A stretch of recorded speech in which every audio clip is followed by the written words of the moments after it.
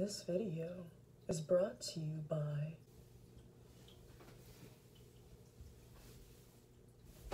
This video is brought to you by your ever enduring desire for fucking lasting happiness and your ever persistent confusion that you just can't seem to fucking get it.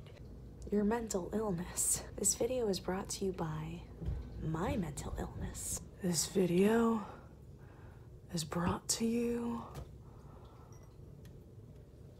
by the orb. I do find some peace with like doing yoga, practicing the piano, folding my laundry, doing all of these like routine things that I need to do to just continue being like a healthy, clean person, you know? Between dieting and exercising more and getting outside more and all these things. I started doing this about four years ago. And I wonder, like thinking back on where I was four years ago, where I am now, am I any happier now than I was four years ago before I started this like health and wellness journey? And when you first start making progress on things, you see your body make these like physical transformations. I was happier, but now after we've reached this conclusion that I just seem to not be any happier than I was when I first started this health and wellness journey four years ago, I had to look up to see if there was any science about any of this. I discovered that there is science. Turns out there's a name for what I'm talking about here, and it's called the hedonic treadmill. Hedonic adaptation, though, is what we're gonna refer to it as, because I fucking hate treadmills. The hedonic adaptation thing that I'm talking about is basically this happiness equilibrium. If my brain and body were in a state of total bliss and happiness because I found the routine that's perfect for me, I get up from the same time every day and I do my workout and I eat my perfect breakfast and become a fluent pianist and become a real uh, world, well loved socialite. If all of this led me to being 100% satisfied and accomplished and never wanting for anything ever again, then that would be problematic. What's this? Never wanting for anything ever again. We can't have that. You need to set your eyes on another prize and go for it, baby. So, according to a paper by Mark Beauchamp and Benjamin Sylvester, studied at University of British Columbia. So, these two guys, University of the British Columbia. It's in Canada. I'm just going to read directly from what they said in the paper. Hedonic adaptation refers to the notion that after positive or negative events, i.e., something good or bad happening to someone, and a subsequent increase in positive or negative feelings, people return to a relatively stable baseline level of affect. For example, Events such as reaching an athletic goal or attending a meeting of a weight loss support group may elicit feelings such as joy and hopefulness, respectively. However, the thrill of an athletic achievement and initial hopefulness tend to abate over time. In a classic study that illustrates this hedonic adaptation, Brickman, Coates, and Janoff Bulman in 1978 found that 18 months after winning the lottery, people were no happier than a comparison condition who did not win the lottery. This all sounds very tiring, right? Come on, I don't want to just be on a treadmill for my entire life, just maintaining what I have accomplished. But it's not as if there aren't alternatives. Hmm. Have you ever tried drugs?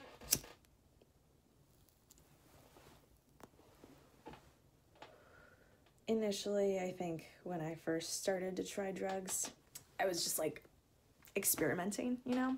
Mm. Weed, cigarettes, alcohol. That was just the beginning. Have you ever have you ever drank a bottle of cough syrup? I don't recommend it. It sucks. Swallowing 15 pills in a row is definitely a lot easier to down than, than drinking cough syrup.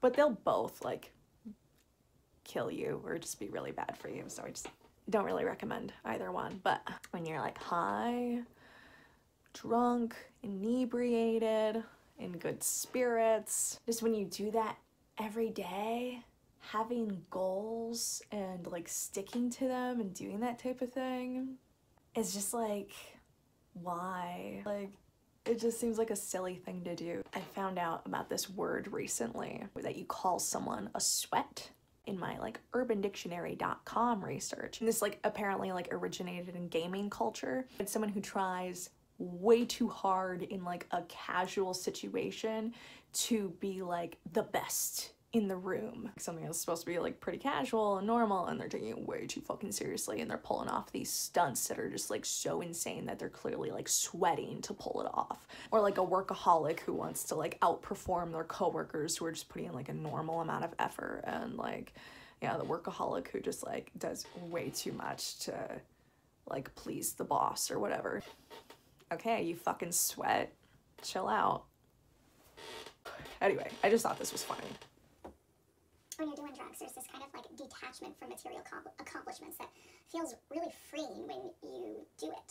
Um, this is like especially profound when doing like psychedelics and like you're collapsed on the floor and you're laughing and there's like tears running down your face and something like about the world just feels so absurd but it's hilarious in this like perfect way and then like you know let's say someone like brings up that like you've got school or work or something some other obligation to do like the next day or something and you just hear this and you're like okay, like, who cares? Like, who fucking cares? It's this kind of like larger earth sense or like grandness of the universe sense, Mother Nature sense that, like, you know, a hurricane could happen, the wind can blow so strong, your car could be crushed by a tree. In the inevitability of disaster striking people every single day on this planet, it's just so inescapable. so, where were we? Let's examine the hedonic part of hedonic adaptation. Hedonic, hedonism. What's that all about? We know hedonism is the study or philosophy of pleasure and the impact of it on our lives. It's like the philosophy around what pleasure is and brings to our lives and its worthiness. So we have like these branches of hedonism that all stem from the same core, but they have many different attitudes towards life prescriptive, descriptive. And the first one I want to talk about is the psychological hedonism. They're all just theories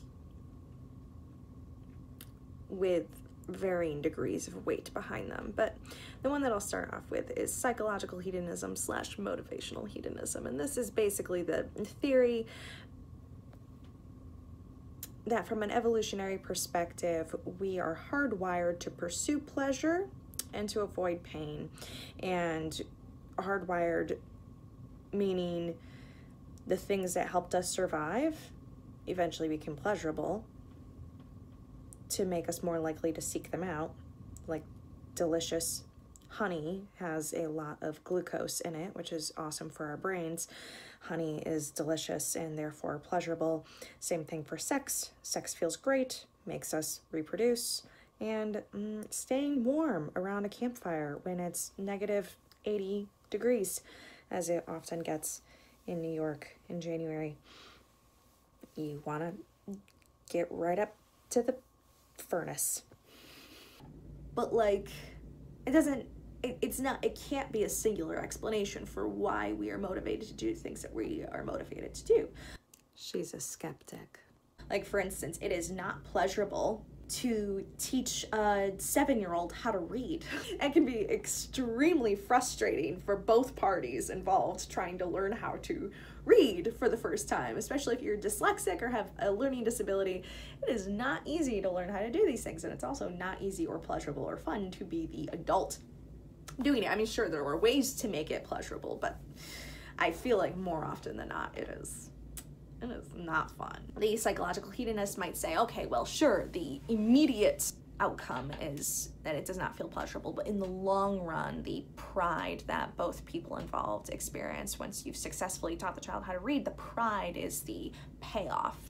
But uh, pride and relief, those are not guaranteed, but it could still be a success, and the act of teaching someone how to read would still be worth it in the end, whether or not any pleasure was gained out of the relief from having attained it.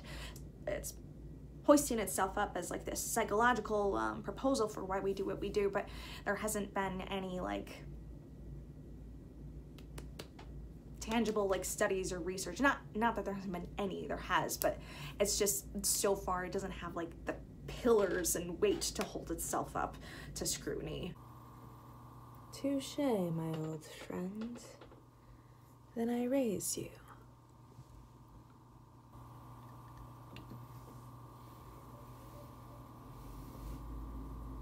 Ethical hedonism.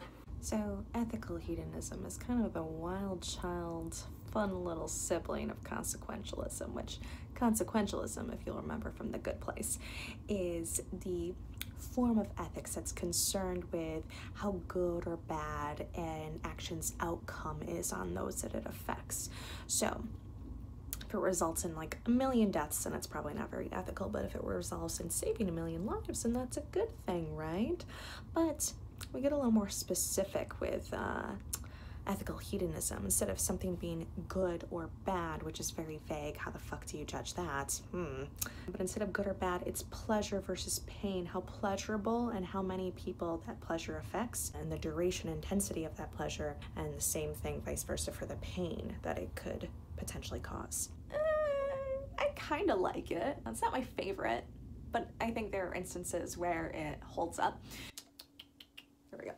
Here we go. Let's say you have an example of a 20 person orgy and over 50 orgasms are the result of this 20 person orgy. But let's also say that in the orgy, someone gets murdered and it was intentional. A murder, by the way, is a non consensual death. A painless murder by poison, let's say. I literally thought this up. Why did I think this up? What was I thinking? So if you die by poison, it's painless, it's quick, you're not even aware that it's happening. That caused you no pain whatsoever. It might have you might have even been coming while it happened. So, in an ethical hedonism model, you might find that a murder by poison that was painless in an orgy setting, the pleasure derived was far more significant than the relative lack of pain that happened. So, boom, we got an ethical murder right here.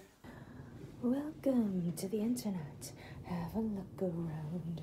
Anything that brain of yours can think of can be found. Okay, stop it. Listen, I raise you. The last of the hedonisms.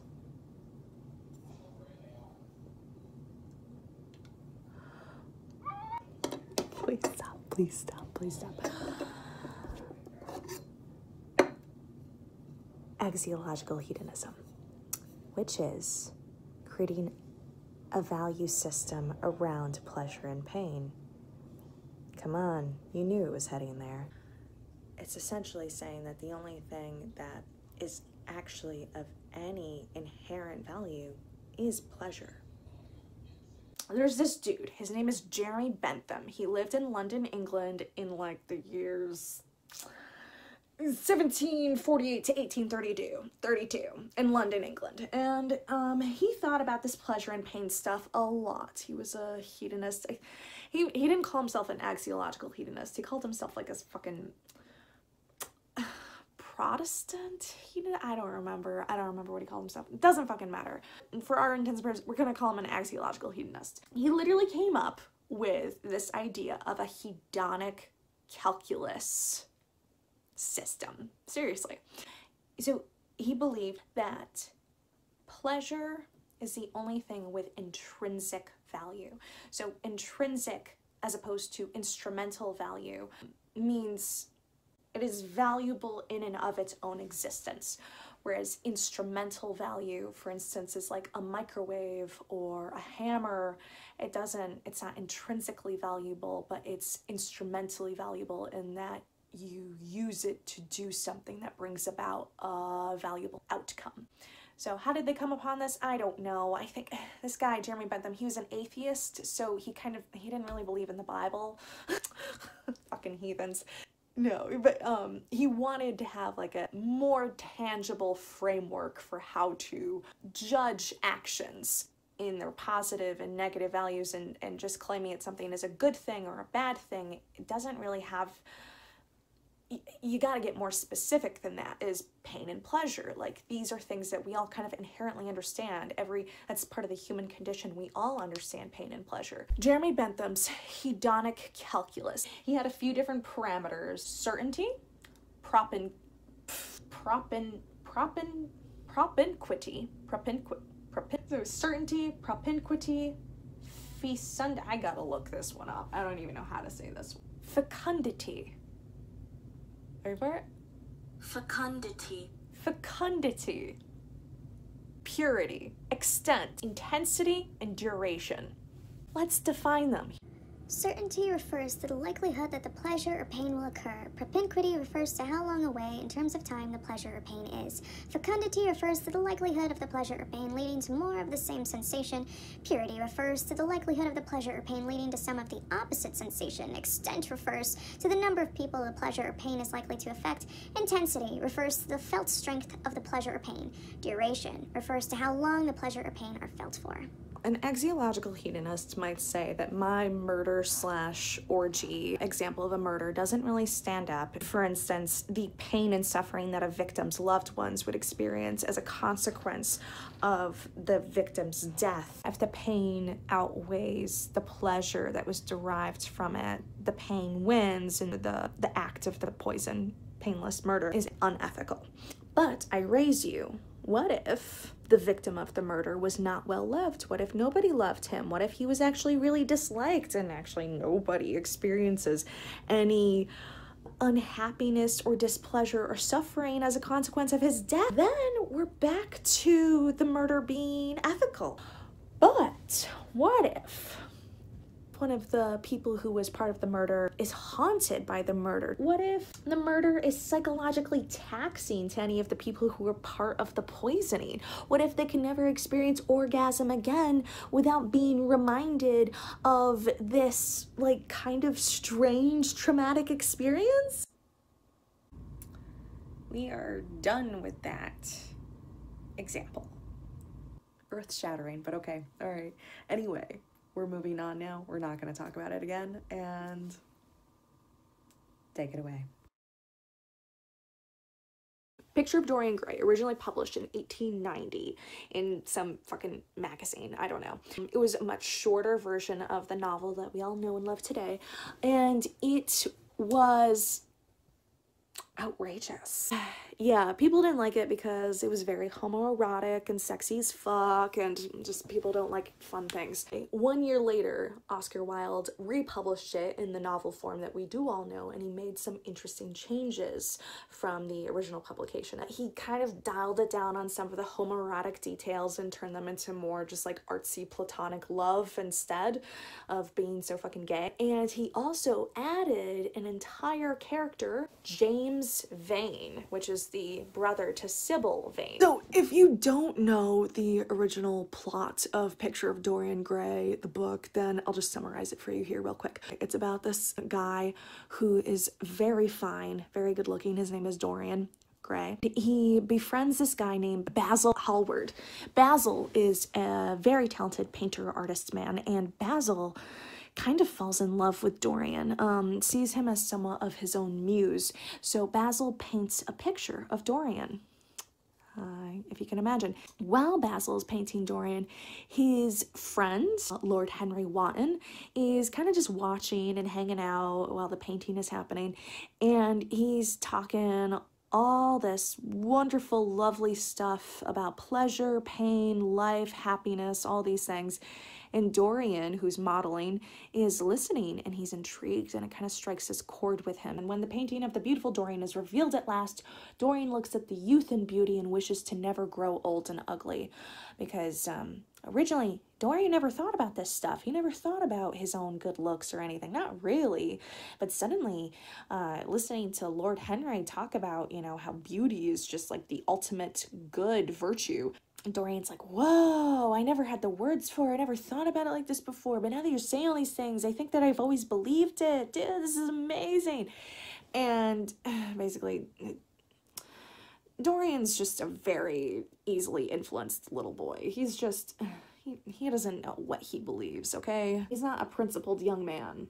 He sees the painting and he's like, oh my God, how unfair is it that I have to age and grow old while this painting gets to stay in this state of perfect beauty? I hate this. He kind of says, I would trade my soul. I would trade my soul for it to, to just stay young and beautiful for my entire life. And I wish that the painting would age and that I would stay young. And everybody's like, oh, come on, Dorian, don't be melodramatic. And somehow his wish comes true We know this because fast forward a little bit, Dorian is dating this girl named Sybil Vane. She's an actress in a bunch of Shakespearean plays and a cute little small town theater. And Dorian falls in love with Sybil for her ability to act because Dorian's new philosophy about taking pleasure in beautiful art and Sybil is an artist. So it fits. One day, Dorian goes to see Sybil in a play and he brings his two friends along, Basil and uh, Lord Henry, for the first time. And he's like been bragging about Sybil. He's been like, oh my god, you guys will never believe that Sybil's fucking amazing.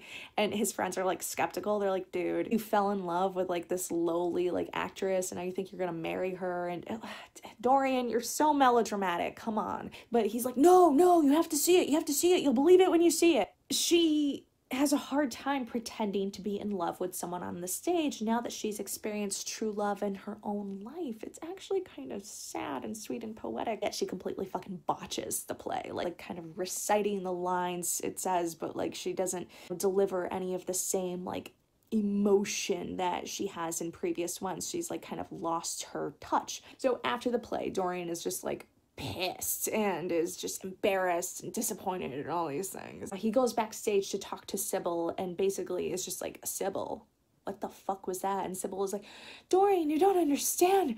I realized that now I see the true beauty of life and, and having loved you. And before I had no experience and I thought that I could play and act it out and, and, and, and pretend that I knew what love is. But now that I know what love is, it's so shallow to be up on that stage. It just doesn't make any sense to me. I can't, I can't deliver the same performance that I did before because now I know that that stuff is empty and hollow. And Dorian, I love you. And Dorian's just like, you're ridiculous you're ridiculous. I loved you because you were an artist. You were amazing. You did things that I'd never seen anybody do before. And now you're you're just you're just like anybody else. You suck. It's really sad. He rejects her. He says that he never wants to see her again. When he gets home and he sees the painting that Basil has done of him, and he gets home and he sees it, and it has like this kind of ugly sneer on it that wasn't there before. And Dorian sees it and he's like, mm-hmm. He like has to look double take and he thinks that he's imagining it but no it's there. The painting is altered. It's different than it was. And um, you know like speculates like oh did somebody change it? But he's like no no it doesn't look like it. That paint is the same paint that was there all along but the expression and the lines around the face that painting is altered. And he realizes that that wish that he made you know kind of offhanded but it was genuine. It was a wish. To trade his soul his wish came true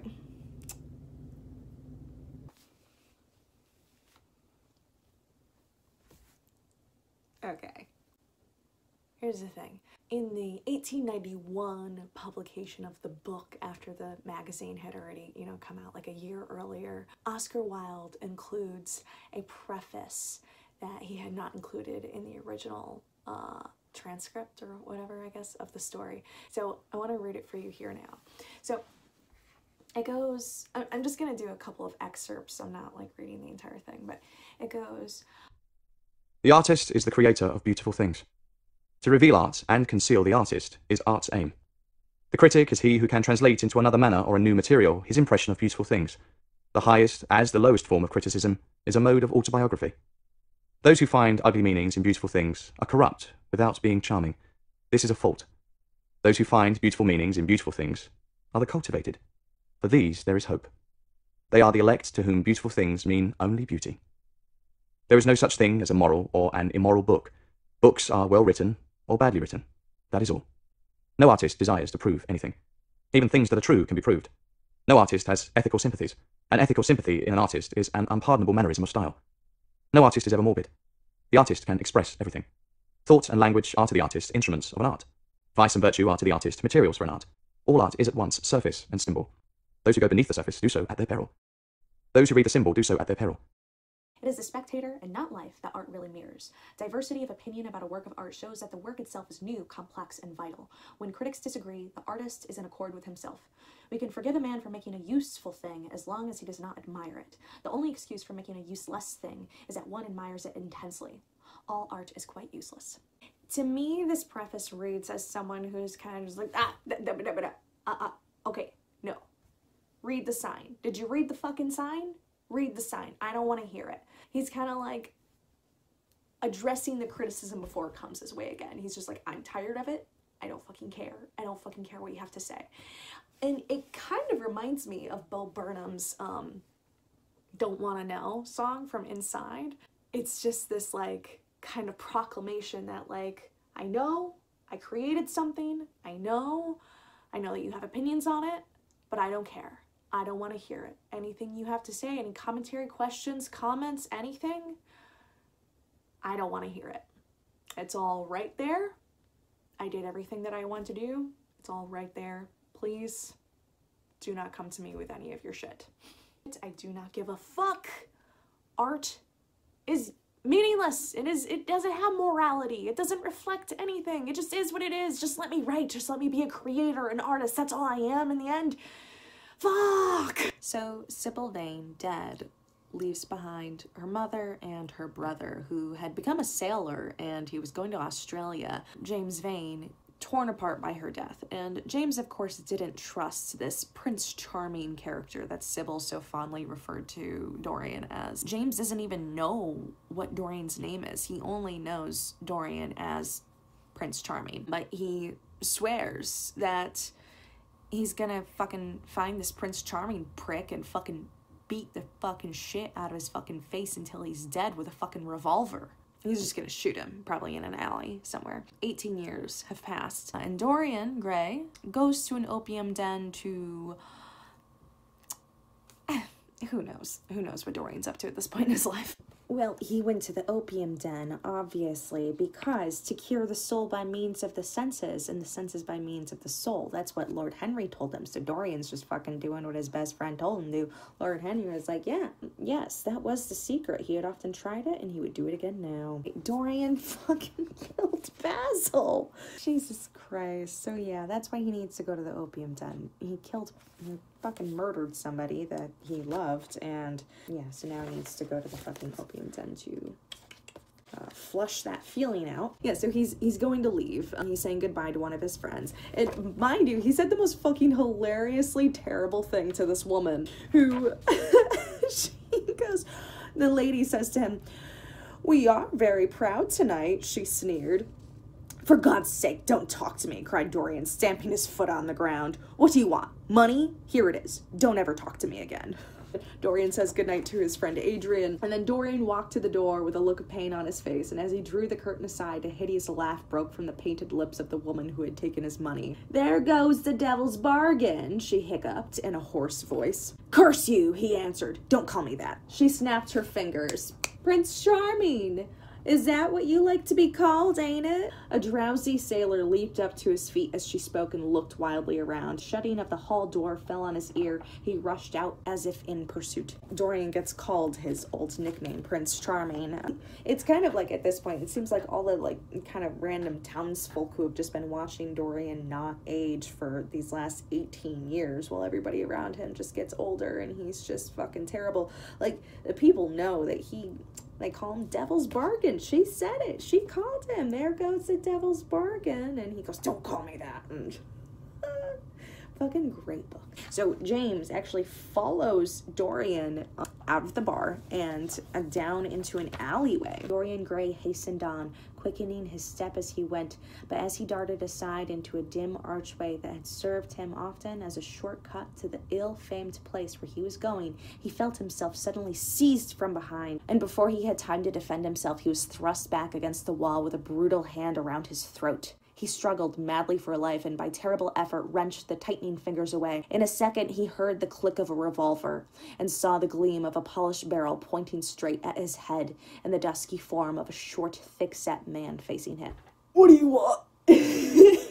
what do you want? He gasped. Keep quiet, said the man. If you stir, I'll shoot you. You are mad. What have I done to you? You wrecked the life of Sybil Vane, was the answer and Sybil Vane was my sister. She killed herself. I know it. Her death is at your door. I swear I would kill you in return. For years I have sought you. I had no clue, no trace. The two people who could have described you were dead. I knew nothing of you but the pet name she used to call you. I heard it tonight by chance. Make your peace with God, for tonight you are going to die. Dorian grew sick with fear. I never knew her, he stammered. I never heard of her. You are mad. You had better confess your sin, for as sure as I am James Vane, you are going to die. There was a horrible moment. Dorian did not know what to say or do. Down on your knees, growled the man. I'll give you one minute to make your peace, no more. I go on board tonight for India, and I must do my job first. One minute, that's all. Dorian's arms fell to the side. Paralyzed with terror, he did not know what to do. Suddenly, a wild hope flashed across his brain. Stop! he cried. How long ago is it since your sister died? Quick, tell me. Eighteen years, said the man. Why do you ask me? What do years matter? Eighteen years! laughed Dorian with a touch of triumph in his voice. Eighteen years? Set me under the lamp and look at my face. James Vane hesitated for a moment, not understanding what was meant. Then he seized Dorian Gray and dragged him from the archway. Dim and wavering as was the wind blown night, yet it served to show him the hideous error, as it seemed, into which he had fallen, for the face of the man he had sought to kill had all the bloom of boyhood, all the unstained purity of youth. He seemed little more than a lad of twenty summers, hardly older, if older indeed at all, than his sister had been when they had parted so many years ago. It was obvious that this was not the man who had destroyed her life. He loosened his hold and reeled back. My God, my God, he cried. And I would have murdered you. Dorian drew a long breath. You have been on the brink of committing a terrible crime, my man, he said, looking at him sternly. Let this be a warning to you not to take vengeance into your own hands. Dorian's such a fucking bitch. It's sad because uh, Oscar Wilde said that thing about he like wrote in a letter to a friend that picture of Dorian Gray is an autobiography of sorts that he thinks that the public sees Oscar Wilde as Lord Henry Wotton, but Oscar Wilde sees himself as Basil, but he wishes to be Dorian Gray. James Vane stood on the pavement in horror. He was trembling from head to foot. After a little while, a black shadow that had been creeping along the dripping wall moved out into the light and came close to him with stealthy footsteps. He felt a hand laid on his arm and looked around with a start. It was one of the women who had been drinking at the bar. Why didn't you kill him? she hissed out, putting her haggard face quite close to his. I knew you were following him when he rushed out from Daly's. You fool! You should have killed him. He has lots of money, and he's bad as bad. He's not the man I'm looking for, he answered. And I want no man's money. I want a man's life. The man whose life I want must be nearly forty now. This one is little more than a boy. Thank God I have not got his blood upon my hands. The woman gave a bitter laugh. Little more than a boy, she sneered. Why, man, it's nigh on eighteen years since Prince Charming made me what I am. You lie, cried James Vane. She raised her hand up to heaven. Before God, I am telling the truth, she cried. Before God. Strike me dumb if it ain't so. He is the worst one that comes here. They say he has sold himself to the devil for a pretty face.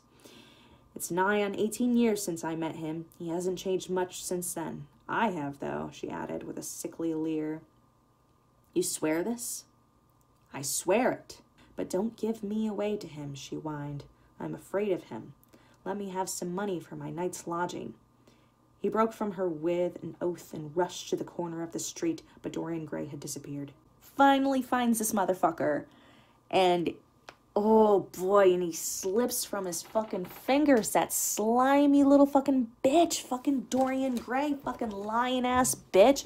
He sold his soul to the fucking devil. Who heard of such a thing? It was the 1800s. People did it all the time. Dorian now is like looking over his shoulder behind every fucking curtain, every fucking corner that he rounds. He's like afraid that he's being hunted.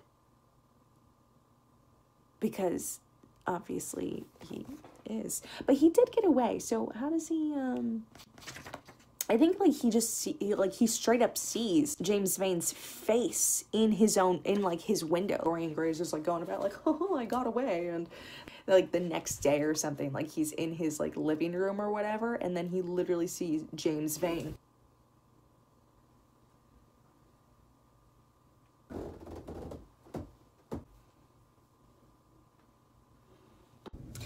So James makes it his life mission to now stalk and hunt Dorian. Um, and so he does, he tracks him down, but only to get killed by a stray bullet from a hunting party uh that he was like he was like hiding in the bushes watching Dorian and he gets killed by a fucking stray bullet like total accident. He dies.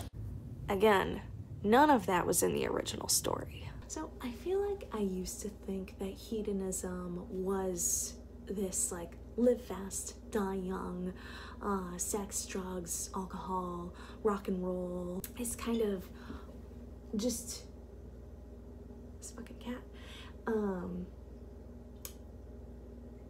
endorsement and, and of, of all pleasures and just placing placing pleasure above all else pleasurable experiences above, above all other experiences. For instance you get a pet a little kitty because you love to cuddle her and kiss her. Mm, I love her. Mm. you don't get her because you want to get her off the streets. You get her because you want love and companionship with your pleasurable experiences and that is the hedonistic perspective on this i guess. Um she's so cute. I love her. She's so fucking annoying though. She's so annoying. I, I love her. I love her though. I fucking love her. Okay get out of here. Oh, so but now that I've done all this research, I found out that that hedonism that I thought was commonly referred to as hedonism was actually not hedonism. It's what we call folk hedonism, which awesome. I love folk music. Real philosophers aren't talking about savoring the melting delicacy of a Ghirardelli chocolate on your tongue. They aren't talking about popping open a bottle of champagne, pouring a little orange juice over it, and kicking back uh, and saying I fucking love brunch. But if it's not any of these things, then I'm just gonna keep going on being a part of the common folk who like chocolate and mimosas and getting fucking laid. And these philosophical hedonists sound like fucking sweats.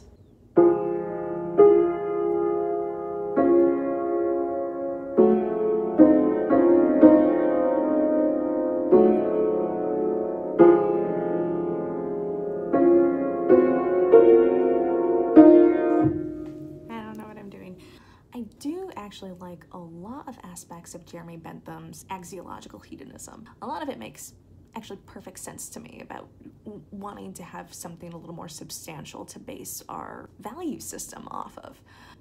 This cat. This cat. I cannot stand her. She just does everything that could possibly be the most annoying thing. It's just that all of these hedonisms, I feel like they just take themselves way too seriously uh, and too far, you know, too much. Oh, yeah, like this is gonna be the, you know, the explanation for all of our behavior or the defining characteristic of what makes an act moral or immoral. And it's both trying to be prescriptive and descriptive. I mean, you know, different branches off of the same thing, but I just. It's not enough. Finer deeper answers that i think that we're really seeking when we're trying to understand where lasting happiness is derived from you know? It's nice that i think that jeremy bentham was aware of this at least. Like i think that he knew that it was kind of lacking in something but he just it's admirable like he was going for something here right? Like he was he like I said, he was an atheist. He wanted more of like a, a moral compass to guide people. That was based in something that we all kind of understood and something that's tangible to all of us. From that, he deduced starving to death is extremely painful. I feel like Oscar Wilde saw something suspicious in this sort of John Stuart Mills version of hedonism, and I think that he wanted to maybe examine it a little more closely. Hello. I realized at this point in the video that I never actually said anything about John Stuart Mills until right now, and I'm just bringing him up out of nowhere. But John Stuart Mills, to give just like a brief explanation of who this guy was, he was a, a student actually of Jeremy Bentham's, and he criticized Jeremy Bentham's version of quantifying how much pleasure and pain different experiences can cause people. He criticized it because he thought that it was too lowly by saying that pleasure is the only thing with intrinsic value and something like sex or eating yummy food or pleasures of the body essentially. Um if we say that these things have intrinsic value and the more pleasure that you get out of something because obviously orgasms are like one of the like top tier pleasures you know? And also just like food drinking alcohol drug use things like that um, these are like top tier pleasures feel great. So quantifiably they get like they're up there you know? So uh, John Stuart Mills thought that this was promoting a lifestyle of swine.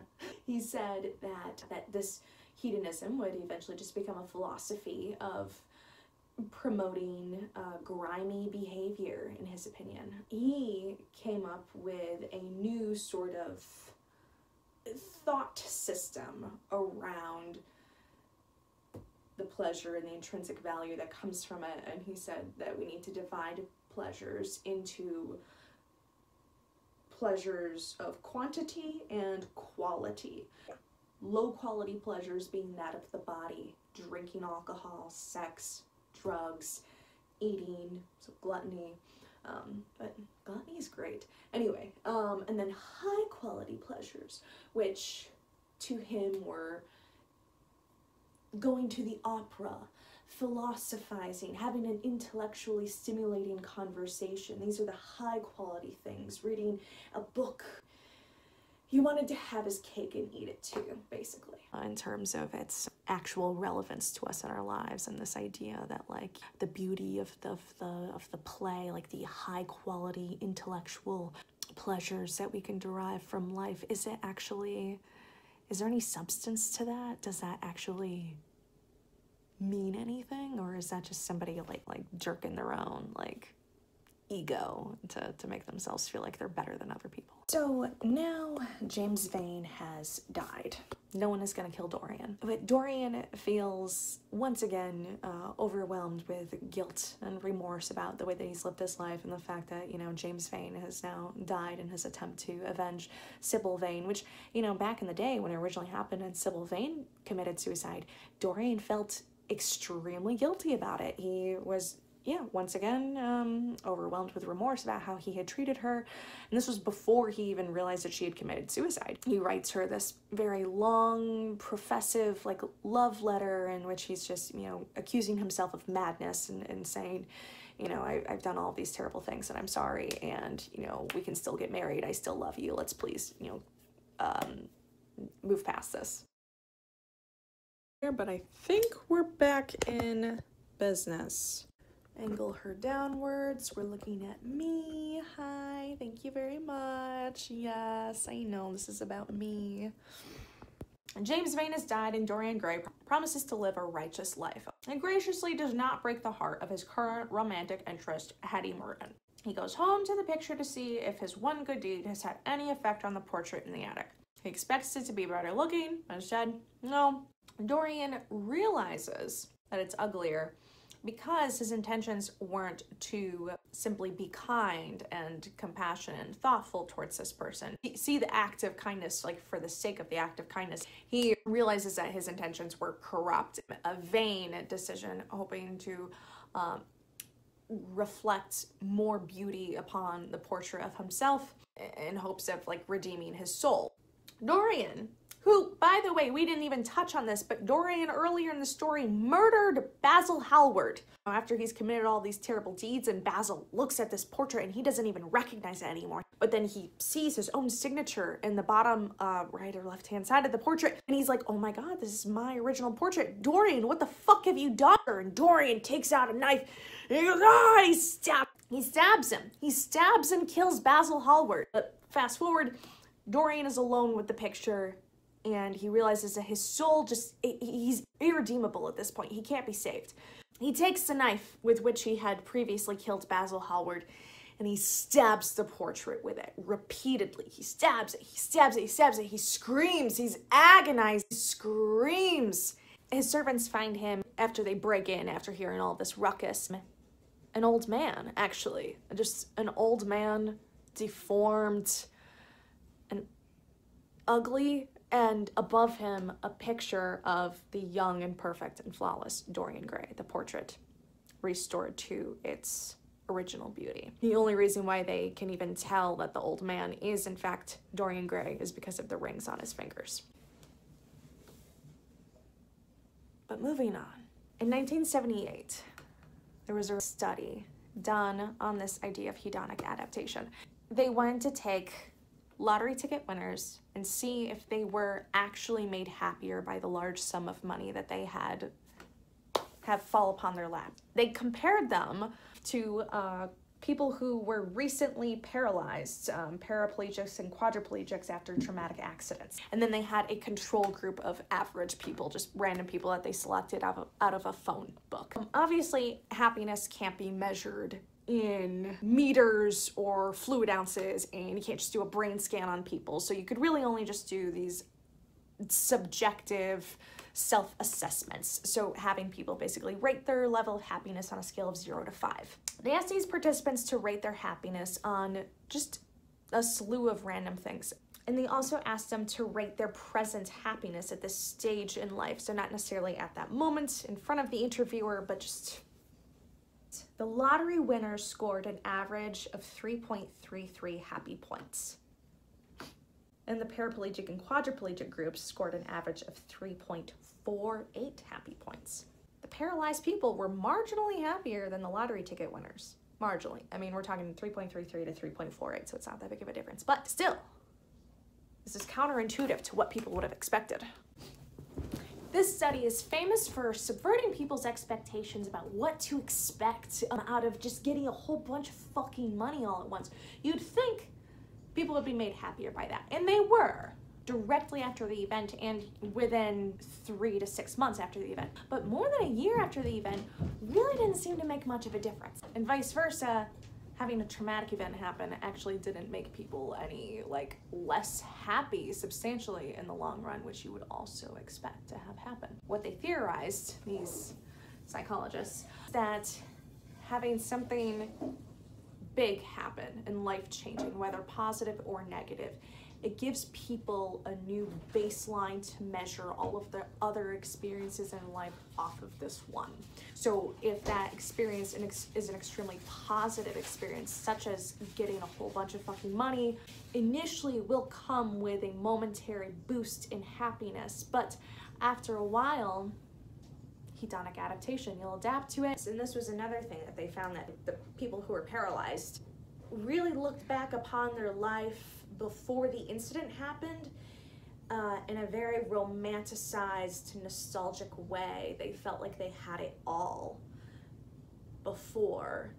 Whereas the people who were the lottery ticket winners, um, kind of rated their lives before the lottery winning as rather negative uh, in terms of their happiness. So that was also just interesting. So in many ways, the findings of this study actually makes a lot of sense. You've heard the expression, money can't buy happiness. Most of us can understand how a near-death experience can um, create a newfound vigor in life that a person previously did not have.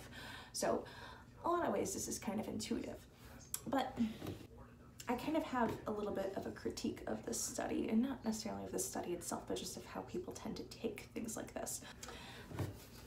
Feel like people think that, um, or like this type of thing would lead a person to believe, especially if they if it's like a confirmation bias for them, that having a life of misfortune or going through something very difficult is good for a person in some way. That it makes them um, build character or be stronger, you know, and this is like clearly harmful. There's obvious reasons why that's not true, why going through something traumatic actually does not build character or make you stronger in any way, and vice versa, thinking that, like, you know, oh, improving somebody's living conditions uh, by way of having more money, that, like, oh, that doesn't actually help them uh, be happier. When, like, there are plenty of instances where that's not true and actually having a raised standard of living is in fact good for a person. What do you know? I want to just make one quick note here. What I am not saying is that a person cannot or will not come out stronger after a traumatic experience. It's just, I think we have this pattern of glorify trauma and almost make it sound like it's a rite of passage for a person to become a strong, resilient person.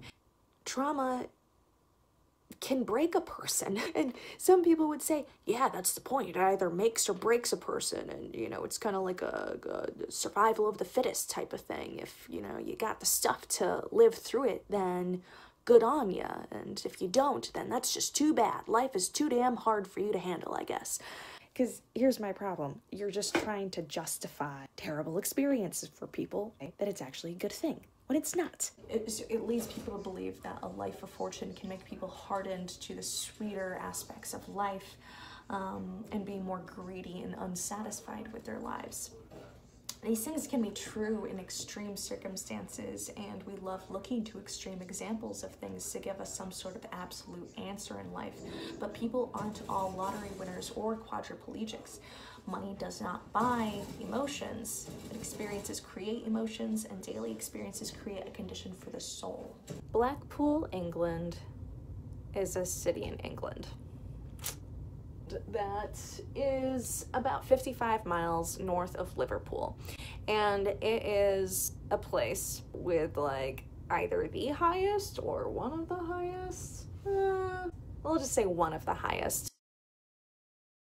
rates of prescribed uh, antidepressants in England. It's also a place that's cursed with economic uh, despair. A lot of people have fled there from other places because rent was skyrocketing, the cost of living was becoming unaffordable in places like London and Liverpool, so they had to leave in search of better rent, essentially, and um, just a more affordable cost of living essentially these are people who are outcasts by society and, and they still can't afford to live. Um, it's still really difficult and depressing to try to scrape by when you're unable to make a living off of a full-time job maybe multiple jobs trying to take care of a family and you just are scraping by. And that's just the minimum on top of possible you know abuse and domestic violence in a household. That's a reality that people live with. There are nine other places in the UK with similarly high rates of prescribed antidepressants and economic despair. These two things seem to be highly correlated. Uh, wonder why. Mental health care providers in these areas schedule about 10 minute appointment slots with each patient, which is all they have time for because they are so overwhelmed with the number of people who need mental health aid. And the mental health care providers are like openly acknowledging this is not enough time. They openly acknowledge that an antidepressant prescription is completely inadequate to address the needs of the patients who, yes, are suffering in their mental health, but for reasons that Zoloft and bupropion cannot address. A person stretched thin over multiple jobs, weeks behind on sleep, with a diet lacking in vital nutrients is the only thing that their money and time can buy in a location cursed with crime and overlooked by the upper classes who forced them there in the first place.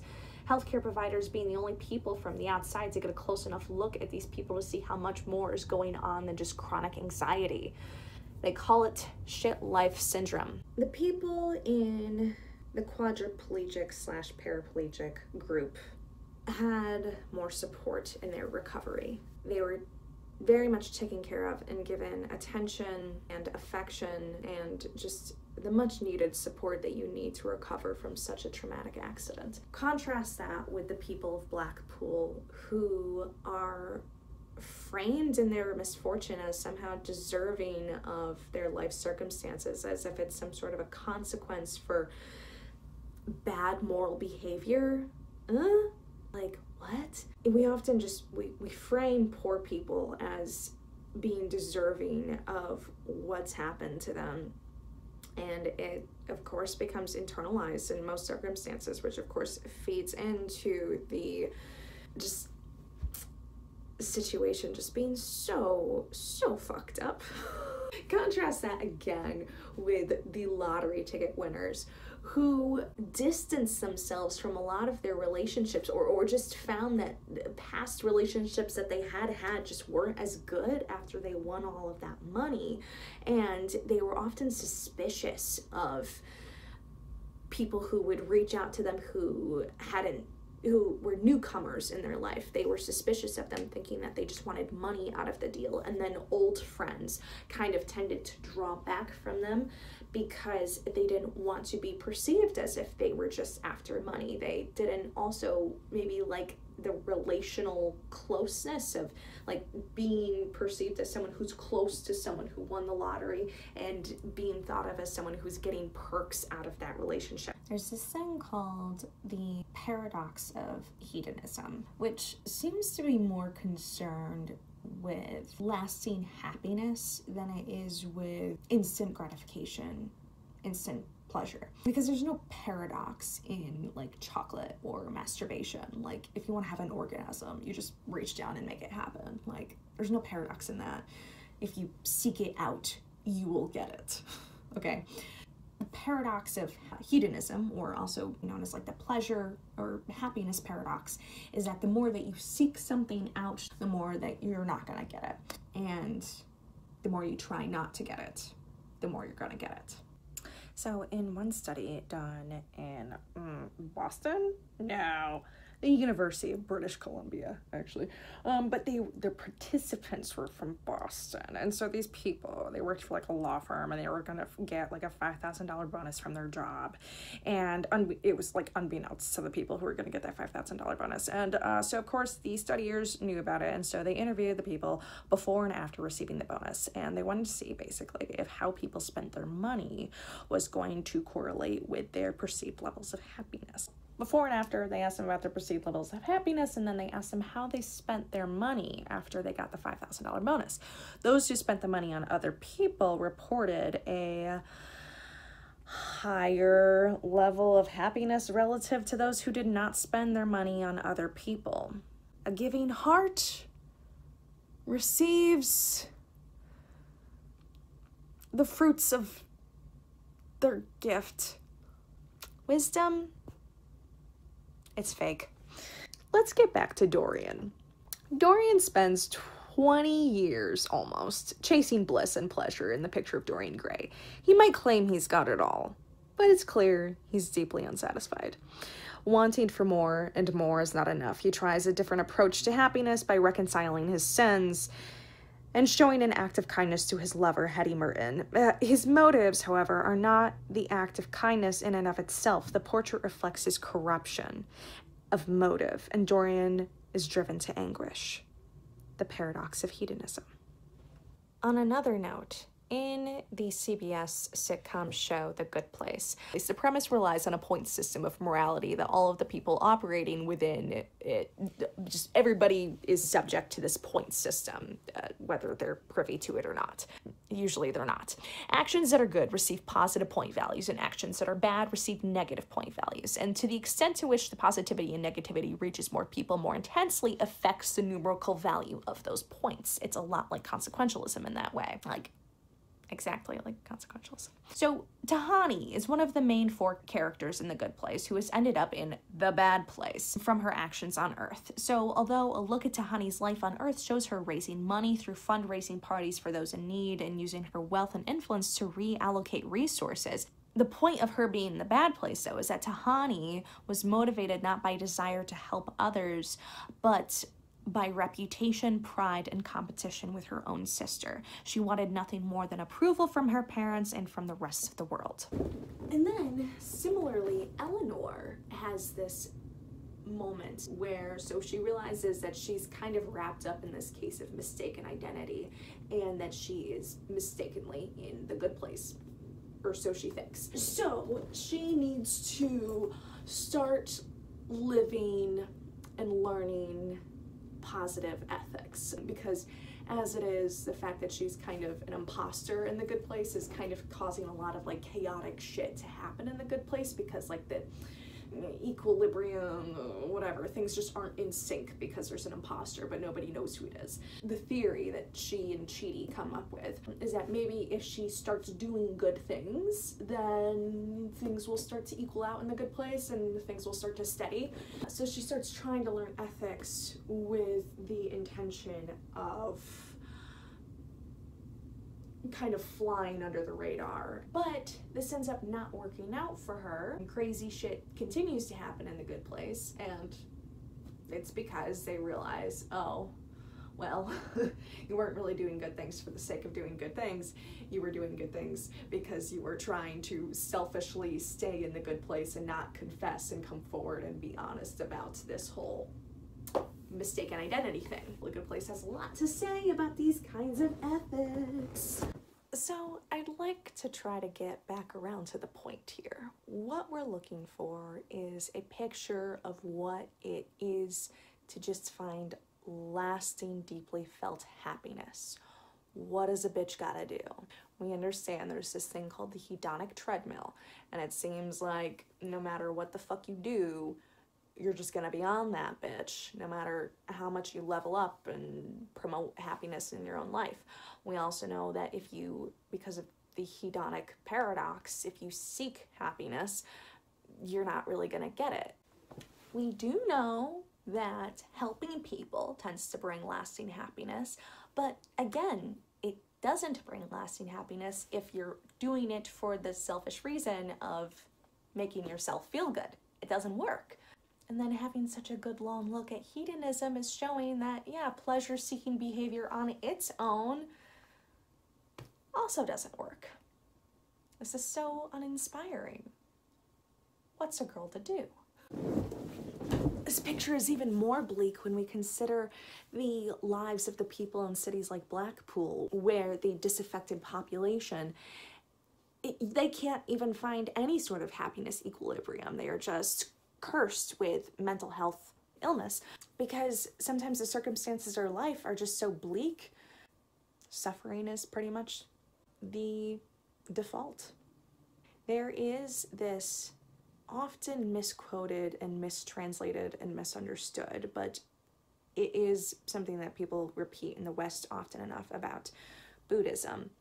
That there's this old adage that goes, life is suffering. Now, this isn't a very good, I mean, yeah, this isn't this isn't a very good interpretation of what the, the saying actually is. It's that life is dukkha, D-U-K-K-H-A. Um, I think it's pronounced dukkha. I actually should have looked that up before I started filming, which we have loosely translated from Pali into English as suffering, but it could also just be um, translated as discontent or dissatisfaction. Uh, there's not really one English word that can be like one to one translated for dukkha, so instead we'll have to use many words. Life is wanting what you don't currently have. Life is achieving a goal that you've been ambitiously striving for, but then once you've reached it, you barely pause to celebrate. Your eye is moving on to the next prize. You're just perpetually dissatisfied with the state of things, always wanting for more. Boredom, in and of itself, is an example of dukkha. It is not being able to just be with things. You are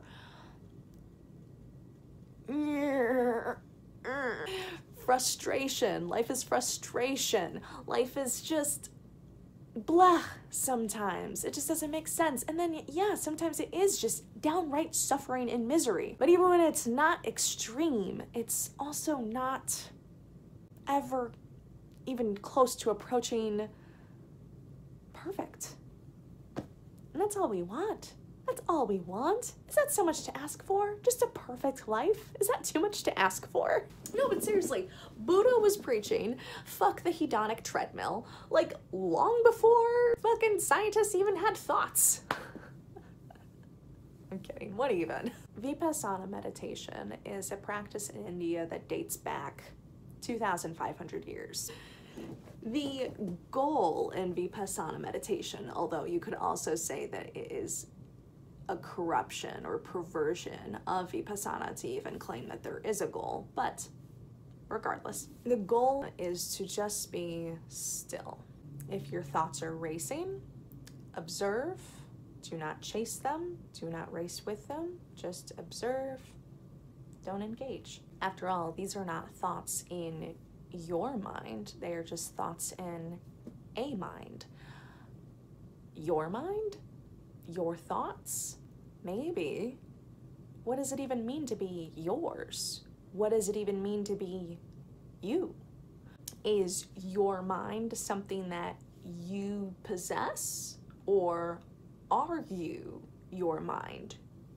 You and your mind are the same thing, different words for the same concept. Is there a you? Is there a me? What are we even talking about when we say there is a self? Well, obviously, myself is myself, me, like my childhood, my experiences, my hobbies, my talents, my interests, my disinterests, the people that I love, the people I don't love, my family. I am me. Like it's self evident. I'm here in front of you right now. Like this is who I am. Duh. Doesn't seem to require much of an explanation. I hope. Does it require more of an explanation? What are you talking about? So let's say that the person who is me has the skill of being able to play the piano. Now, that's a recently developed skill. The piano playing version of Kelly who exists today, is she different than the version of Kelly who existed before she could play the piano? Um, if you subtracted piano playing, is that like a big aspect of who I am, and if you alter that, then it's no longer me. So I am now more me than I was then, before. Well, no, obviously not. Like, that's a silly thing. You're just comparing two different versions of me at two different points in my life, but they're both still me. It's just I've changed. I am fluid. So we're saying that the self is fluid? Well, yeah. Yeah, sure. Yeah, the self is fluid. Okay. Oh, okay. There is a person, me, who is called Kelly. I was named that at birth. And I have, she has a set of patterned behavior that she just kind of goes with a lot of the time, has certain identity markers that she picks up and puts them around her neck and then sometimes takes them off and then whatever. Um, yeah, she exists. Um, and these labels that she places around her at times, well, they are not rule or law, they are just conveniences. Just a convenient way to get other people to quickly have an idea of who you are. But again, who you are? Hmm? Where then is her essence of self? Where is she? Where's Waldo?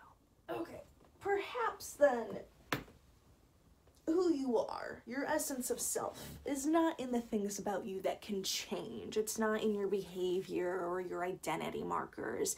These things are too flimsy. They don't really work. Person's behavior can change, their identity can change, all these things. It's got to be the things about a person that are unchanging. Their species, their genetics, their genetics. Well, that works if you assume that your genes, which is the, um, what is it, like the instructions for the DNA in your body that go around basically just instructing your cells on how to present themselves. Is that what it is? Hold on, let me just read this.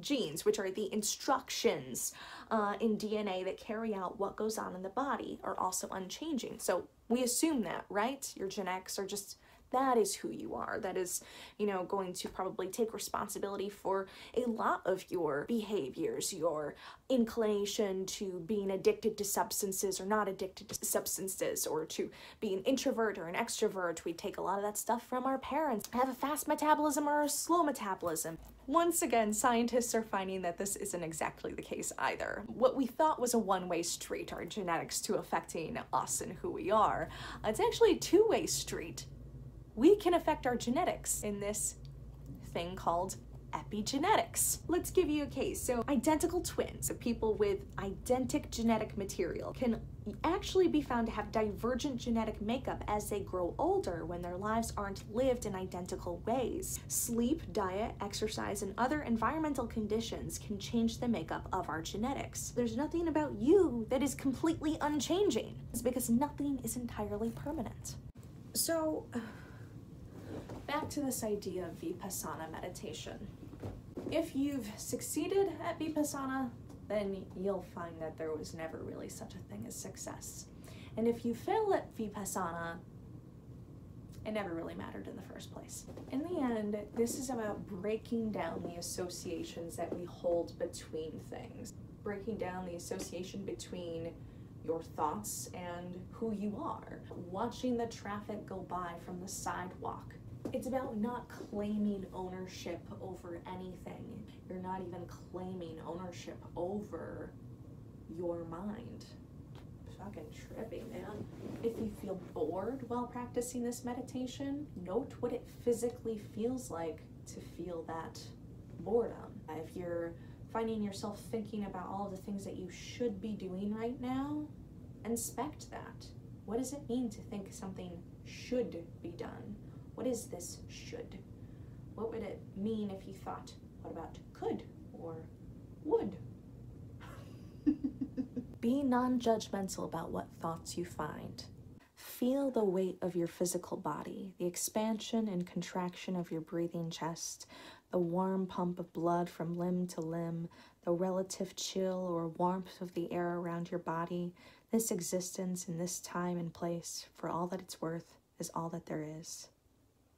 Is this calming, existentially daunting, indifferent, sad, happy? Does it matter? You may wonder if there's a tipping point in meditation where, after a person has put in X amount of hours, whether it be hundreds or thousands of hours, where they've found that they've successfully broken their association between all of these things. Once you realize that this body that you inhabit, there is no you and nothing, no one really inhabits anything. Well, then what? Once you've eliminated all of your desires and cravings and wants and wishes and and dislikes and likes what are you left with this idea that you kind of look within so many things try to examine each one of their individual aggregates and find that ultimately there's this sort of lack of property to all things, lack of essence to all things. They call this emptiness. Once you've truly internalized this idea of emptiness, you may wonder have we just found a really roundabout way to be utterly nihilistic about life? Remember drugs, this nihilism thing that we're talking about. You don't need 10,000 hours of vipassana meditation to achieve what we're talking about here. Try two strong tabs of acid and then go be alone for six hours. And I'm not saying you will, but I'm also not saying that you won't break every strong association that you have between yourself and others and love and what it means to be a human person. Break every strong association between time and the sun, between thoughts and yourself, between people and love. You don't wonder if you'll never be happy again because what's the point? Happiness is fake anyway. Time is an illusion. Life is empty. The universe is a pathetic joke played on you to make you think. What? What even? You make it up. Insert your own adventure. Doesn't fucking matter. Literally. Does not fucking matter. This is a really bad trip. Alternatively, have you ever done drugs and had a great fucking time? Like, seriously, don't take two tabs of acid and go be alone. Take two tabs of acid and then go be with your favorite people in the world. Revel in their company, hold their faces in your hands, kiss their foreheads. They're the best people. Talk to them about how much you love them and how that love is just the biggest best thing. Go on an outdoor adventure with them and run barefoot through the streets with just the rain kind of falling all over and squishing things between your bare toes, all disgusting and just ah. Go look closely at a beetle on a tree and marvel at its beauty and then wave your friend over to come look at it with you and both of you just say wow in unison with tears in your eyes this joy is real and it's transcendent and it's beautiful So, there is another meditation that I'd like to talk about called metta meditation, or translated to loving kindness meditation. In the practice of metta meditation, you first calm your mind, as always, and you imagine that you are with someone that you love very much. Imagine someone who is near and dear to your heart. They could be someone who has passed away, they could be someone who has not passed away. It could be your spouse, your mom, your brother, sibling, child, whoever. Just imagine that this is someone who is dear to your heart. And imagine just pouring out your love and compassion and empathy to this person. Imagine just a well of just gratitude and warmth going their way. Now imagine another person who you also love dearly. They're very close to your heart and doing the same thing with them. Imagine more and more people that you love, people in your family, people that you work with, your friends, your longtime past schoolmates, so many people. Uh, extend it to all of them. This cherishing of who they are and this appreciation in who they are. Start to extend it to people who you're kind of indifferent towards. Now imagine it with people who are more difficult in your life. Pour the love out to them. Extend the love as far as your imagination can bring you until you're imagining people that you've never met before and you're loving them. After doing this for however long it takes, it might take you 20 minutes to fully imagine exactly how that love feels in your body, in your heart. It might take 20 minutes, 30 minutes, an hour to like fully do this practice.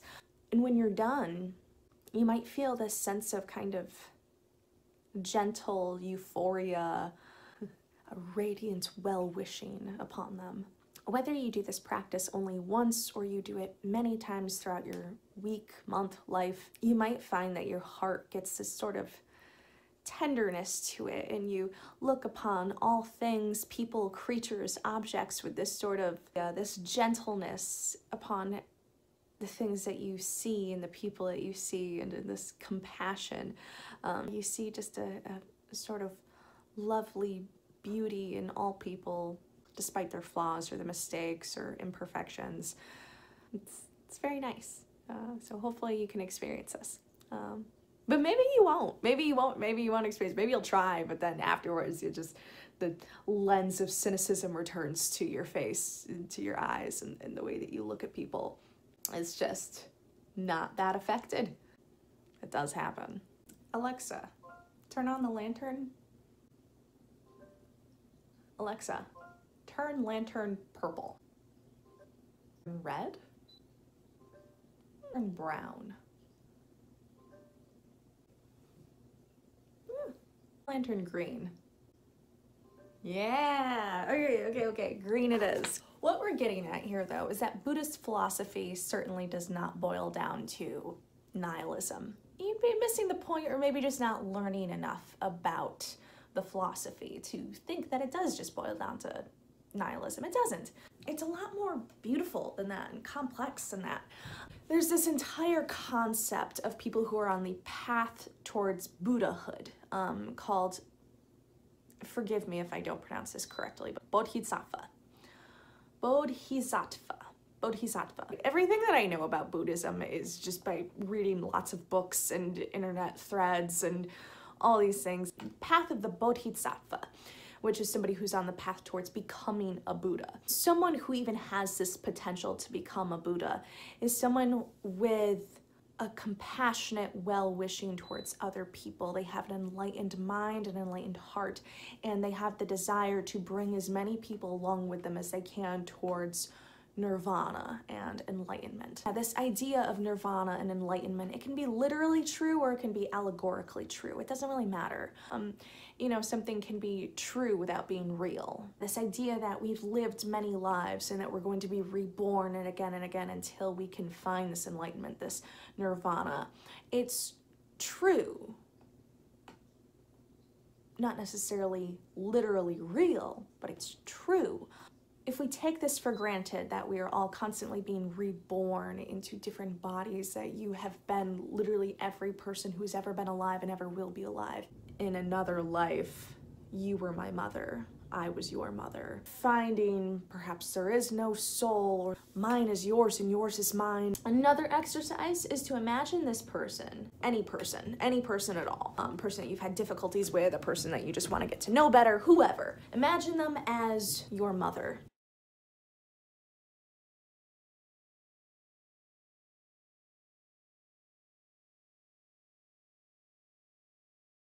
Now imagine that your mother is blind, helpless, she's standing near the edge of a cliff, and you are standing next to her, not blind, aware of the situation, and you're able to help her. Wouldn't you help her? And if you wouldn't help her, then it's very likely that you are, in fact, a person who is blind, helpless, and standing near the edge of a cliff and are in need of help.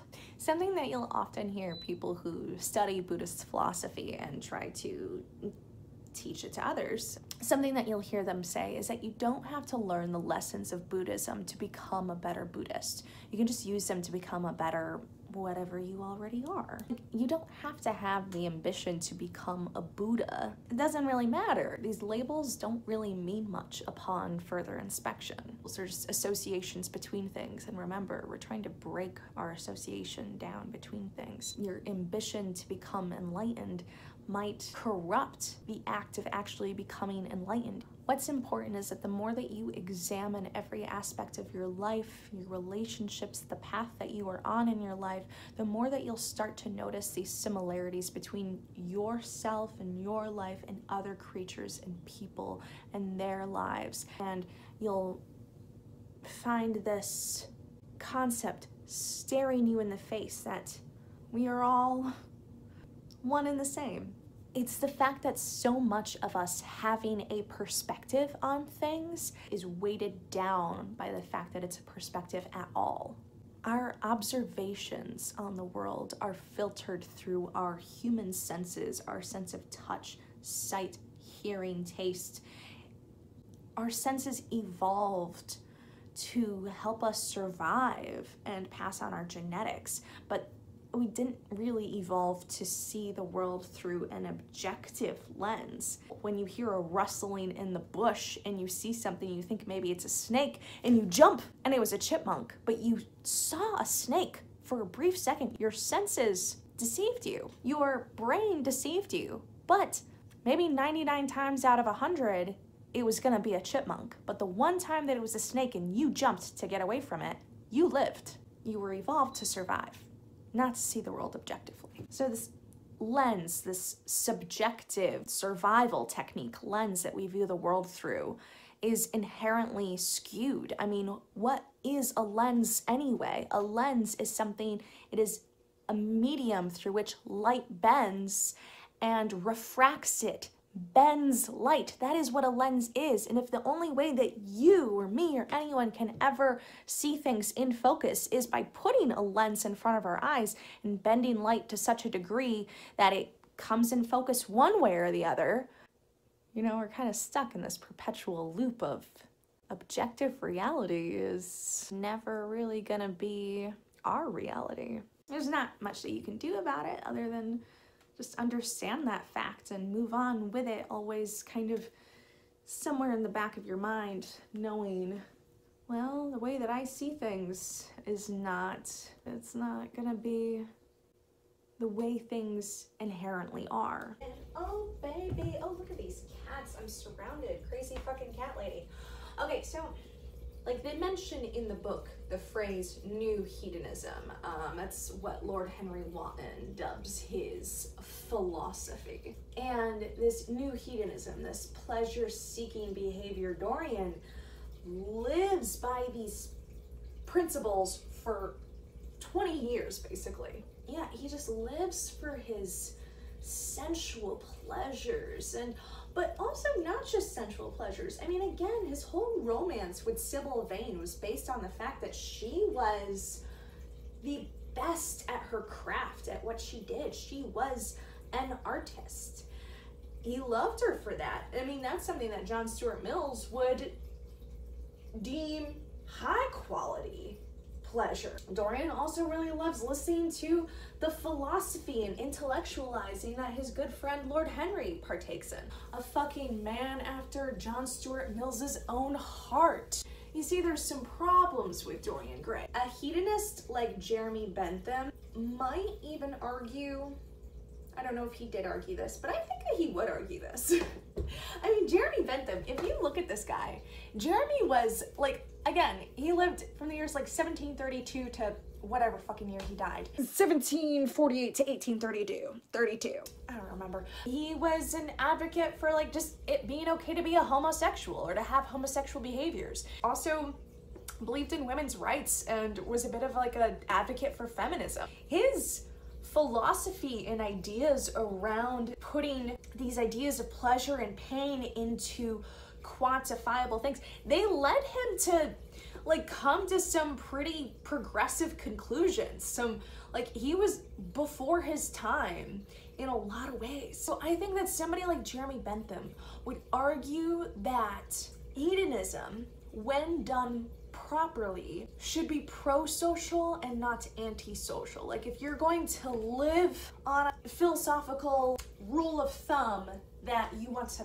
maximize pleasure for yourself and others, like the and others aspect is important. But if you're a drunk and you act like an asshole towards people, you say, whatever, I'm drunk, I'm happy, I'm deriving pleasure from it, but you're being a fucking dick to everybody and it's causing them pain, then doesn't add up. It's not ethical hedonism. It's not, you're not doing it right, man. And Dorian Gray, it's in the text. Dorian Gray causes a lot of fucking pain. He murders a guy. He blackmails somebody else. Dorian lives a life that causes pain to other people and pleasure to himself. And yet he calls it this new hedonism. And you listen to Lord Henry Wotton talk about the thought systems that are the reason that Dorian is living the way that he's living. Lord Henry is just like supremely aware that he doesn't even believe what he's saying. I think it's Basil who says something to Lord Henry that's along the lines of, Oh, Lord Henry, you never say a right thing and you never do a wrong thing. It's like kind of you watch Lord Henry and his actions, and he's kind of loved by the people in his community. People think he's charming and charismatic and lovely. Lord Henry is a pretty pro social guy. He just says some funny, provocative, controversial things at dinner, but does he live by them? Eh, like to some extent, but not the way that Dorian lives by it. Dorian takes it to a goddamn extreme, and it's shown that at first, Dorian is utterly fascinated by watching the picture show the lines of corruption on the oil painting. It's like a study for him. It is the most interesting thing. Watching the degradation of his soul happen in real time on canvas. What does this have to do with finding lasting happiness? I almost read Dorian Gray, and I don't think that this is intended by Oscar Wilde at all. The more I read about Oscar Wilde and his personal beliefs, Oscar Wilde was kind of a believer in a lot of things that Lord Henry Wotton was a believer in, just I think to a lesser degree, and didn't like. But he did cheat on his wife uh, with a man after he already had children. He cheated on his wife. Uh, that was arguably an antisocial thing to do. So, you know, I don't think that Oscar Wilde would agree with what I'm about to say about Dorian Gray, but I do think that Picture of Dorian Gray is kind of a parable, a warning of sorts of what not to fucking do. And what not to fucking do is be antisocial and cause pain and suffering to those around you. Don't do that because it will degrade your soul and you will go mad. Look at her. Look little kitty. She's so cute. Just give her a little, little squish. Little squish. Baby. Oh, I squashed her. Kelly. You're all fucking over the place with this, okay? Like, first you started talking about just uh, what it means to be a goal setting person, and oh, camera's shaking way too much. And then hedonism, and then the hedonic treadmill, and Oscar Wilde, and murder orgies, and now this Zen mind bullshit. What the fuck is your point? Where are you going with this? Well, who the fuck even are you to be qualified to be talking about any of this shit? To that, I say, good eye, you're right. I am not qualified to be talking about any of this. To be honest, we probably are tackling a subject that was hubristic of me to even think of that I could get it all in one video. No matter how clever I thought that I could be, I wasn't gonna be able to do this. Not really. I've given it a really good fucking try though. At least the best that I've got. Um, on my journey, I am finding contradiction after contradiction, paradox after paradox, definitional inconsistencies. I guess what I really wanted was to speak to the truth that we need to liberate ourselves from the systems that we find we are trapped in, the systems we place ourselves in, and the systems that others place us into. Uh, but that is way fucking easier said than done. It's ridiculous for me to think that I can preach that type of thing. I can't even give you a fucking plan. I can't give myself a plan on how to escape the mess that we are in. Happiness, I mean, that's what I wanted it to be about, but happiness is almost a kind of side effect to what I'm really talking about here. What I'm really talking about here is liberation and optimism. Liberation insofar as our consciousness, and that is where this mindfulness meditation and Buddhism and metta meditation in terms of loving kindness towards any being, all creatures, wanting to have compassion towards all sentient beings and set our minds free. Yeah, sure, absolutely. That's a big fucking deal, and that would be lovely if we could achieve that. I think on a societal level, there are some things we need to address before we can get. We can't talk about a pursuit of happiness that doesn't include an abolishment of homelessness. Like, I'm sorry, but that's just that's just not going to happen. So there's this principle of understanding that we all do better when we all do better. And that is where our hearts need to find their focus. I won't find happiness until you're happy. You won't find happiness until your brother is happy. Happiness being such a vague term, again, definitional inconsistencies. What is happiness?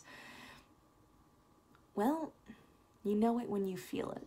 And optimism is a requirement. This loving kindness meditation contributes to optimism in each other's souls, in our deservingness for redemption. We can save ourselves. We can do it. We are endowed with the skill that it takes. We just need to fucking link arms and goddamn do it.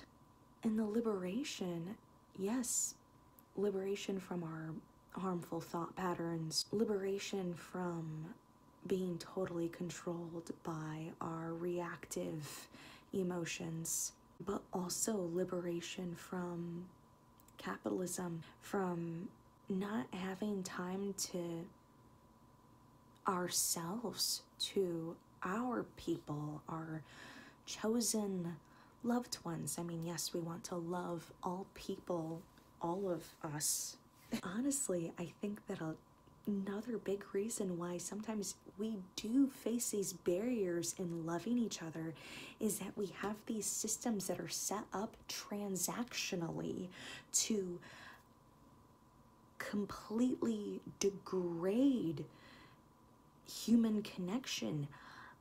I cannot tell you how ironically frustrating it is to be told by your corporate manager that uh, you need to foster a genuine connection with the customer when the relationship of customer to retail worker is the most antithetical situation for what a genuine connection is.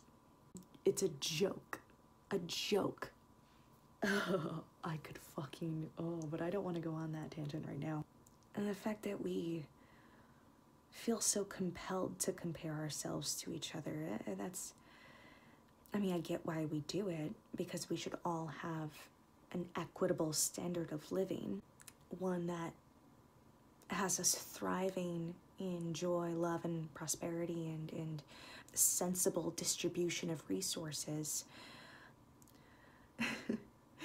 and yes, this is all about happiness, and this is about the people of Blackpool and Blackpool here. It's it's a stand-in for all of these economically desperate people and places. Uh, this was this was too big of a topic for me to tackle.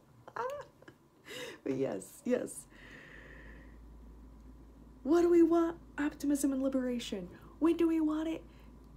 Fucking yesterday. Hold on though. Wait, no. I thought this was a video about finding lasting happiness. Now all of a sudden it's about liberation and optimism.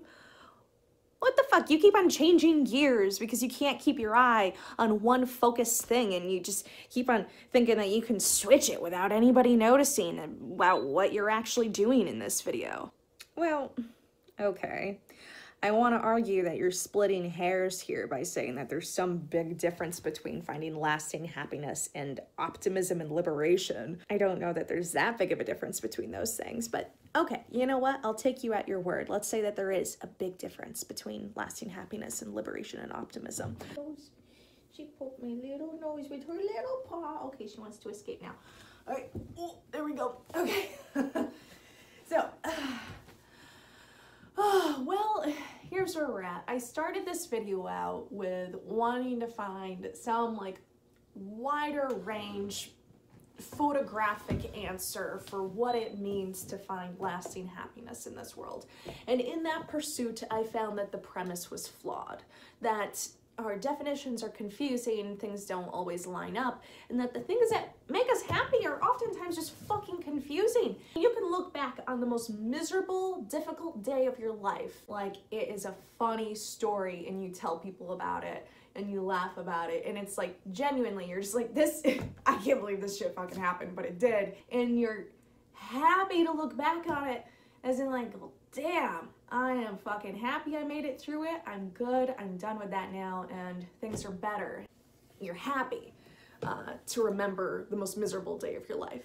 Vice versa, the happiest day of your life. You might look back on it with melancholy and nostalgia sad that it's over and that you feel like some of the best days of your life are behind you now. Or maybe you're in the middle of running a fucking marathon and your feet feel like they're shattering beneath you with every fucking step forward that you take and you're fucking exhausted, but you get done with it. And at dinner that same night, you think of this marathon and you're celebrating and you're talking about it with your friends. Like, this is the most reason to be proud day of your life. And you can also have a fucking orgasm and then feel ashamed of how good it felt.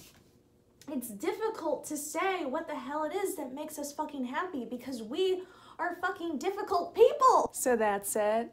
That's your like cop out for not doing what you set out to do. I mean, well, I wouldn't call it a cop out so much as a revelation. Mm-hmm. But yeah, sure, call it a cop out if that's how you feel about it. Some people grow and realize that their old understanding of the world is not quite true, and other people watch them grow and call them fucking hypocrites. So, doesn't matter. Uh, we're all each other's mothers and different lives. Earth shattering, but okay. All right. But I will leave you with this one last thing. our old friends, Mark Beauchamp and Benjamin Sylvester, they had more in that paper on the hedonic. God, I can't put my feet on this chair, otherwise I rock up the fucking camera. They had more in that paper on the hedonic treadmill. They had this hedonic adaptation prevention model. What this was, was the hypothesis goes that introducing variety, variety, into a person's life will have a positive effect on their assessment of their own well being. Let's unpack that. They had two test groups of students at whatever fucking university. I think we're back to the British Columbia one. They had two test groups of students and they gave both groups tasks to do. They wanted them both to perform acts of kindness for people Ta-da! An act of kindness being defined as something that goes above and beyond what's normal and expected and requires some level of effort, time, or money. The first test group, they asked to just do the same act of kindness every fucking week for the duration of the test. And then the other group, they asked them to come up with a different act of kindness every week. No repeats, something different every time at the end of the study, the test group that was asked to do the random acts of kindness that were all different every week with no repeats had a substantial level of greater happiness than the group that had to do the same fucking act of kindness every week. They wanted to combine a previously understood aspect of what brings happiness, which is doing nice things for other people or, you know, having a giving heart. So they wanted to take that and then see if variety would spice this up as well. And it does! We like variety. It makes us fucking happy. Where are we left? Compare this again with those who take the path of the Bodhisattva and their mission, for lack of a better word, is to bring enlightenment to as many sentient beings as they can, to reduce suffering, to put out this loving, compassionate warmth out towards as many people as you can, and that being a necessity for achieving enlightenment and prosperity for all human beings. I don't know. Nirvana, come as you are. Give away your money. Do acts of kindness. Be kind to strangers. Love, love, love, love, love. Love is all you need. So switch it up a lot, okay? Do crazy things, variety of things. Take off your shoes. You don't even need shoes, okay? Unless you live in this mess um in fucking February. I started this video in January. It's February now. Big picture, here's what we got. Practice Vipassana meditation, aka mindfulness meditation. Remember, all art is quite useless, but also don't take Oscar Wilde for granted on everything that he said. It's not very helpful for those of us who want to make a fucking difference in this world. Be ever loving and compassionate towards all people, including strangers and people that you dislike. Remember that all you've ever had is this moment. And remember that as much as health contributes to your lasting happiness and promotes your own well being, remember that equally too, promoting the well being and health of other people is just as important. As much as it's good to have a strong routine of exercise and sleep and uh, going to the gym and all these things, remember to switch it up. Maybe tonight only get like five hours of sleep because tonight you're going to the fucking bar, okay? You're gonna go to the bar and you're gonna socialize with some people that you've never fucking met before and you're gonna talk to them about enlightenment and see what they think. And tomorrow, fucking forget tomorrow. Tomorrow does not fucking exist. Live fast, die young, and remember to kiss your mother. Oh, why did I just say it like that? Okay. Live fast, die young, and remember to kiss your mother. Live fast, die young, and remember to kiss your mother. Why do I want to say it like that? Live fast, die young, and remember to kiss your mom. Live fast, die young, remember to kiss your mom. Live fast, die young, remember to kiss your mom. Live fast, die young, remember to kiss your mom.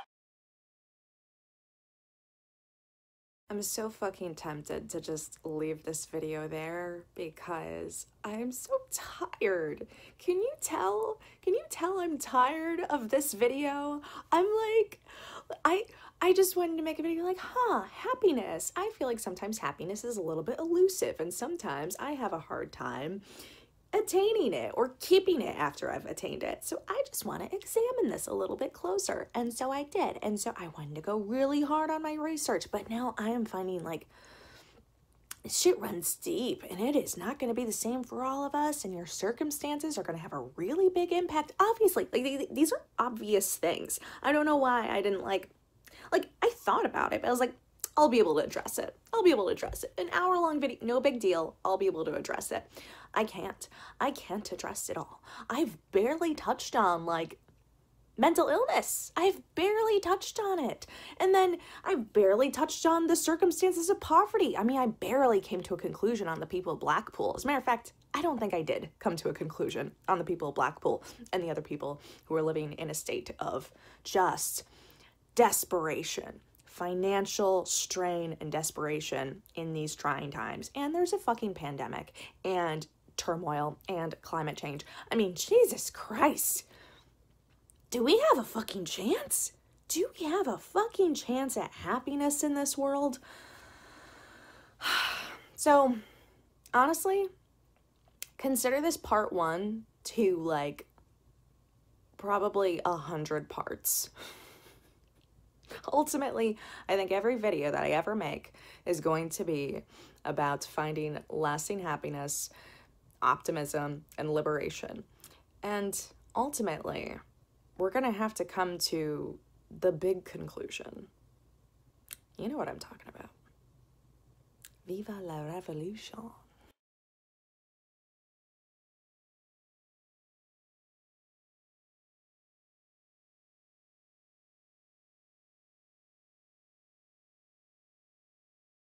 Orb. I'm gonna fall off the table. This video. Oh shit. Oh shit. You have like these branches of hedonism that all stem off from the same core and can you stop hedonism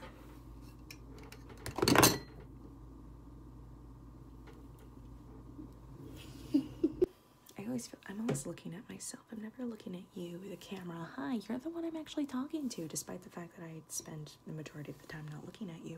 Um, it's because I am also obsessed with my youth as Dorian Gray was, although I think I'm older than Dorian Gray was, so. Mm. All right, listen. Much of a difference. So, um, were you able to film again? Knock, knock, hello. I'm just busting your balls. Those uh, parameters were certainty, prop and fuck. I can't say this word. I didn't even know that this was a word until I read this, but in, in the second word's even worse. But propin, propin, propinquity, propinqui, propinquity. so certainty, propinquity, fecund. I gotta look this one up. I don't even know how to say this one. Fecundity. Oh my god. Can she say it for me, please? Comb that ethical hedonism through like the utilitarian cone it is. How to pronounce fecundity? Fecundity? Fecundity. Got certainty. Propinquity.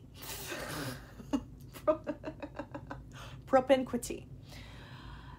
Fecundity.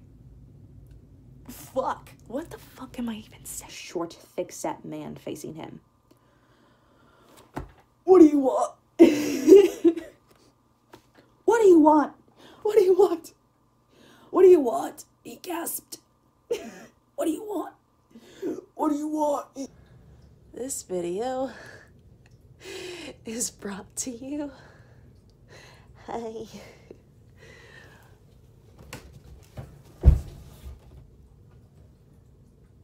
This video is brought to you by